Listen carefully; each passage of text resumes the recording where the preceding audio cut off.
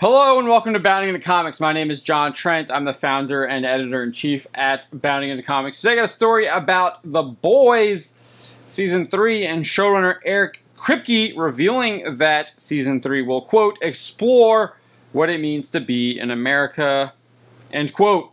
Before we get to the specifics about what Kripke said, I'd like to ask you please hit that subscribe button if you are not already subscribed. If you are already subscribed, please make sure you are still subscribed. YouTube does like to unsubscribe people for whatever reason. And then hopefully by the end of this video, I'll have earned your like and you will give us a like and that you will share this with your friends and family and that you will also hit that bell for notifications so you don't miss any of our future Bounding the Comics videos. With that out of the way, let's get into this story. As I said, the Boys showrunner Eric Kripke recently divulged some information about what the upcoming season three of the Amazon Studios series will be about. Kripke discussed the show with Deadline, where he not only talked about the show's production amidst COVID protocols and his experience as a showrunner, but he also delved into what the show will be exploring in its third season. Specifically, Kripke discussed what the show will explore through Jensen Ackles' Soldier, Soldier Boy character. Deadline's Matthew Carey asked Kripke, quote, I I doubt you want to divulge any season three spoilers, but maybe you could talk about your goals for this season as you get to work on it. So this is in the middle of production of season three. Uh, Kripke responded, quote, we've been certainly a political and satirical show. We were really interested in exploring both the recent history of Vought, the company in the show, but also through that the recent history of the United States. not sure if there's a spelling error or not there, but that's what it says in the deadline article. Uh, Kripke continued saying, We got really interested in the myths we tell ourselves to feel that we're righteous, really exploring America itself as a myth. He then went on to detail that they will do this through Soldier Boy and flashbacks to World War II. He explained, quote, a big element of the comics actually are flashbacks to World War II and Vietnam. I always really I always really loved it because you got to see how the superhero phenomenon didn't just affect the present, but how it affected parts of the past as well. And so we have this character Soldier Boy played by Jensen Ackles, and he's been around since World War II and was the first Vought superhero. Through him and through his story, we're able to explore a lot of the history of the country, really. I'd say in previous seasons, the boogeyman for you to be scared of used to be the terrorists are coming to get you, and now it's sort of metastasized into, I think, a much more ominous your neighbor is coming to get you, and that's scary to me how politics are turning us on each other.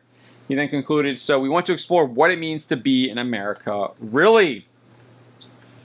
Interestingly enough, Kripke was one of the people stoking the fear that your neighbor was coming to get you while he was promoting season two of The Boys. He specifically promoted it based off of race. Back in August 2020, Kripke was asked by Screen Rant, quote, In season two, there's the super villain terrorists all over the world that have been activated by Homelander. However, you never really get the sense that they're more dangerous than their creators. Can you talk to me a little bit about that dynamic? This is how Kripke responded to that question back in August 2020. He said, Yeah, it's a great question. We were really interested in exploring the idea of authority figures getting the public really riled up with xenophobia and racism. But ultimately, the most dangerous people are the white dudes standing next to you. We wanted to reflect that story. So the supervillains are, in a way, a misdirect. So just looking at that answer to August 2020, he's literally writing a story about himself now because he's saying now that he wants to talk about a story that is much more ominous about your neighbor is coming to get you, and that's scary to me when he was literally the one saying that he was telling his story about your neighbor coming to get you because that's what he how he saw the world. It's just utterly insane. It's just crazy, crazy talk. Still, in this interview in 2020, he would specifically point towards Donald Trump and Republican, Republicans, claiming the show is a parallel to the travel ban and President Trump's immigration policies. He said, we wrote it at the time of the travel ban. If you remember the caravan that were, quote, going to come over the border and R word all the white women. Uh, I don't know if that's an actual quote. I don't think that's an actual quote. I think that's him creating a quote. Uh, he's just trying to demonize President Trump there.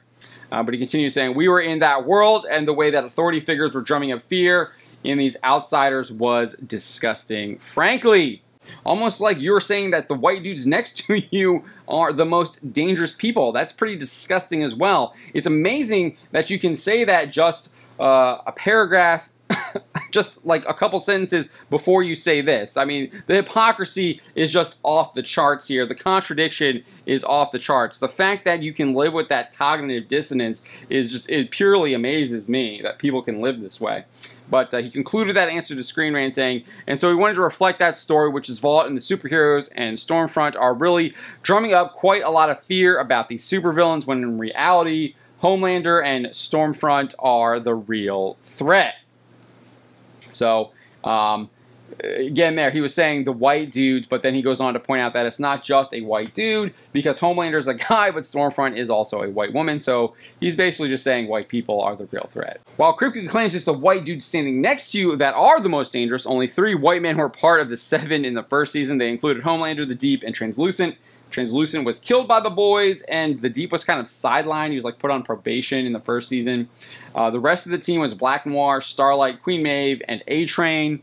A Train is a black man, and both Starlight and Queen Maeve are white women. Black Noir was revealed to be a black man in the second season when Maeve force-fed him an almond joy. So it's really interesting that he was putting this all on uh, white people when the show literally opens up with A Train murdering Hughie's uh, girlfriend that he's about to propose to. So yeah, that's that's just a just crazy crazy talk uh, from Kripke there back in August 2020, and he's back at it again here promoting season three. Kripke would double down on his show being a metaphor about President Donald Trump while speaking with Deadline about season three. Uh, Deadline's Carey asked, One of the most remarkable aspects of the show is how you take on contemporary social issues, authoritarianism, and celebrity for instance, which we just lived through for four years. How are you able to somehow explore these timely issues through ostensibly a kind of unreal world? So uh, Carey's obviously asking a loaded question there, referring to President Donald Trump uh, there, those four years, that's obviously what he's referring to. Uh, so, so with that said, Kripke responds saying, Part of it was, I do admit, dumb luck, because all good genre is a metaphor for something. I happened to stumble into this great job that had the perfect metaphor for the exact second we're living in. I've been waiting my whole life to stumble into something that hits the zeitgeist bullseye, and I don't take for granted that I finally found one. I guess maybe he did stumble into it, but I don't think Garth Ennis and Darick Robertson, who created it, stumbled into it. Uh, they specifically created it for a purpose. It's clear. It, the, the book is clearly uh, a, a, satire and a parody and is meant as social commentary that is uh, abundantly clear. And it's not just on the superhero genre, it's, it's on uh, the world as well. It's, it's very clear in the comic books if you've read them. Uh, and Kripke does, does note that, and it's created the book. He says here, part of it is just really relishing this world Garth Ennis created that is about celebrity and authoritarianism and social media and misinformation and how corporations present a shiny, happy mask to the world when what is behind that mask is the most ruthless drive for capital. 100% agree with that. I think everything he's saying there is right on point. I'm not sure it just pertains to the four years that President Donald Trump was in charge. I think that's been happening for quite some time, uh, and I think Garth Ennis probably thinks that too, given the boys' first issue debuted in 2006. Nevertheless, Kripke added, I got handed this beautifully tailored suit and felt I just had to strut in that as much as I can. Kripke would go on to state, one thing we do though, probably even more than the comic, is we really try to hew to a very ruthlessly logical, grounded place of what would really happen, what would it really look like if soups were really real, and if you applied the complete effing absurdity of the superhero myth to the actual world we live in, where those gears grind are funny and strange and absurd. He continues saying, I love living in that sort of deconstructed space of just simple questions like, if you were the Flash, you would be blowing up people all the time. If you were Superman and you had eye lasers, it would not be a cute little puff of white light when it hits you. It would be a horrific evisceration. Exploring all that makes the world feel more credible, but it's just great fun to break down the superhero myth that way. He concluded.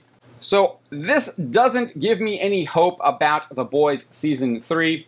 Uh, the show definitely got more political in Season 2, and the Rotten Tomato scores, I know a lot of people don't like looking at Rotten Tomatoes scores. Uh, I'm also skeptical of them, especially after what happened uh, following Captain Marvel. But even even with all those changes, you can still look at the uh, season differences in from The Boys season one to The Boys season two. Looking at the audience scores uh, on Rotten Tomatoes, The Boys season one audience score is 88 percent.